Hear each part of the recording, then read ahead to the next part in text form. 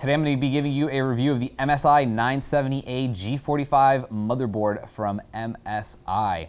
Very decent little motherboard, going to get you by. It's going to cover your AMD. It's not a super high-end gaming motherboard. It's not a super low-end just kind of general desktop. It's right in between, and it might be exactly what you're looking for. Now, let's go directly into the discussion about this motherboard. We're going to start right here. This is for you AMD fans, obviously. Um, this is a AM3 Plus socket, so it's going to support your FX processors, your Phenom 2s, your Athlon 2s, your Semprons, etc. It's a 24 megahertz uh, hyper transport, so the front side bus is rated at 2400 megahertz.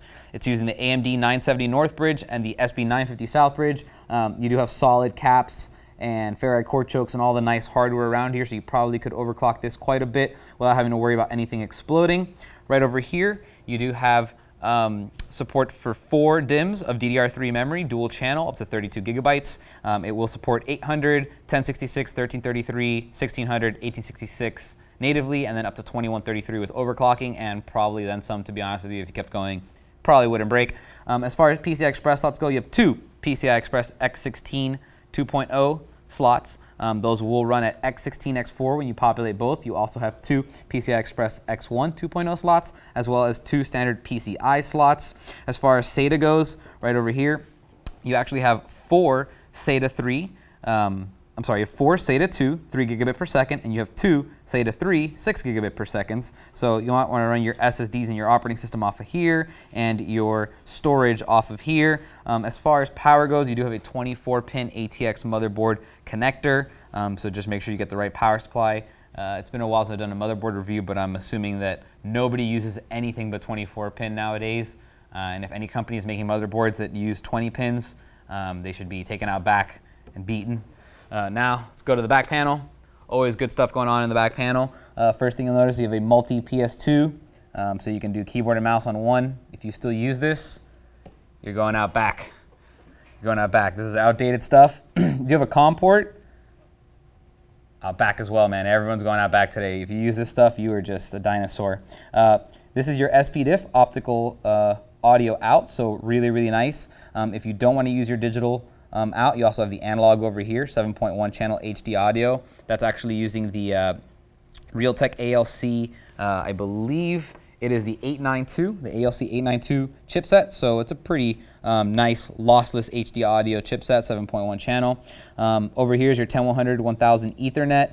Uh, you have six USB 2.0s as well as two USB 3.0s, and that basically covers the back panel. But if you needed more than what you have on the back panel, right over here, you have um, headers, and that's going to give you an additional uh, six USB ports off your three headers that are right there. Um, so that's really, really nice. Lots of USB connectivity as far as that goes.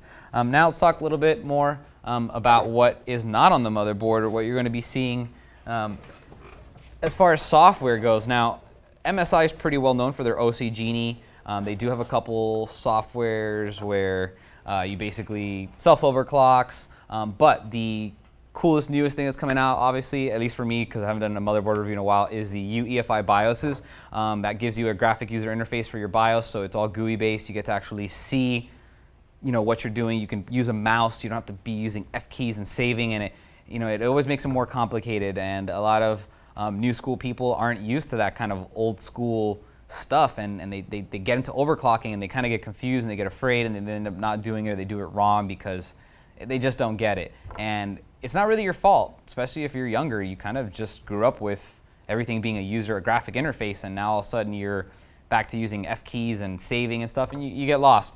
No worries, you don't have to worry about that anymore. You do have UEFI uh, BIOS now. You also have all the MSI features that you're used to getting as far as overclocking Genie and, and um, in operating system overclocking software. It's all available inside the box, um, and you do get a whole bunch of that good stuff. And um, that's basically it. Really nice motherboard, um, impressively affordable, and very you know capable of doing just about anything that you want with it, uh, especially for the price you're paying. They've gotten cheaper and more efficient and more capable over time, and this is just the proof is in the pudding. Uh, the 970A uh, G45 from MSI. If you have any questions on it, you can feel free to email me, and I'll see you guys next time. For more information on the MSI 970A G45 motherboard, type in M452-6225 into any major search engine.